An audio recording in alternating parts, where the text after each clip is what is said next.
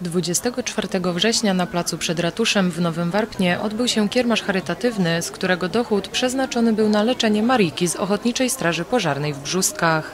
Pół roku temu kobieta urodziła córeczkę.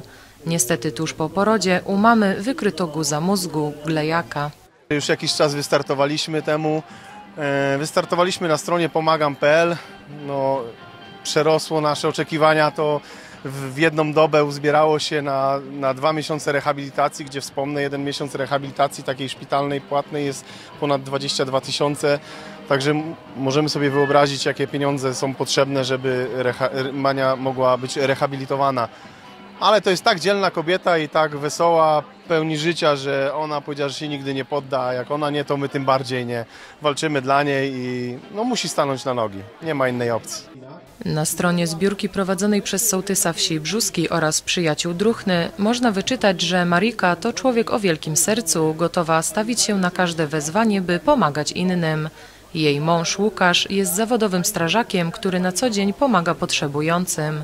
Dzisiaj to oni potrzebują pomocy. Marika wykorzystała już wszystkie możliwości leczenia i rehabilitacji refundowane przez państwo. Dlatego koło gospodyń wiejskich wraz z Ochotniczą Strażą Pożarną organizują akcje charytatywne.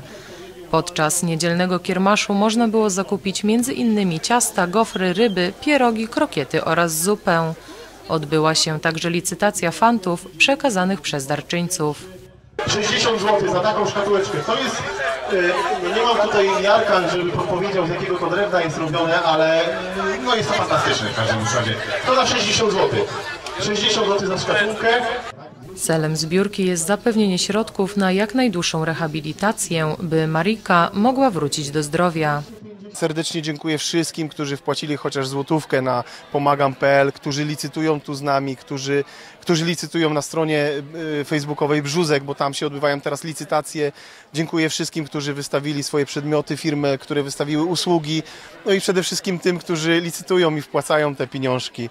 Bardzo serdecznie dziękuję. Ogromnym wsparciem też dla mnie jako organizatora jest, y, jest y, administrator Brzuzek Marcin Różański, który ze mną to wszystko ogarnia, bo dla jednego człowieka jest to nie do ogarnięcia. Dziękuję wszystkim, naprawdę. Jeżeli kogoś pominąłem, to bardzo przepraszam. Podczas kiermaszu zebrano ponad 29 tysięcy złotych. Walkę Mariki z glejakiem można wesprzeć wpłacając dowolną kwotę na stronie www.pomagam.pl.